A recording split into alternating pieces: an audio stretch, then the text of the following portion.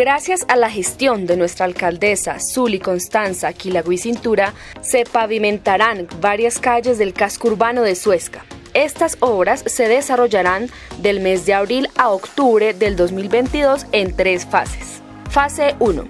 Pavimentación de la carrera quinta desde la calle séptima a la calle cuarta, es decir, desde la plaza de mercado hasta el Colegio Gonzalo Jiménez de Quesada, sede bachillerato.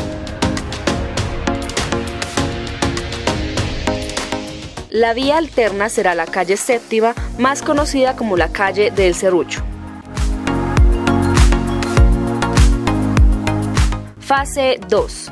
Pavimentación del contorno de la cancha del barrio Carrizosa entre la calle Sexta y la calle Quinta.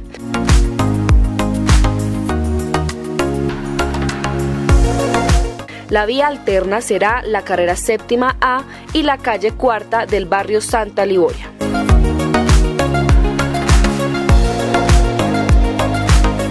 Fase 3.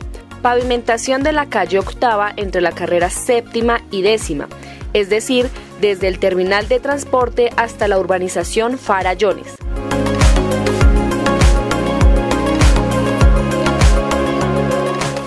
La vía alterna será la carrera séptima y la calle séptima.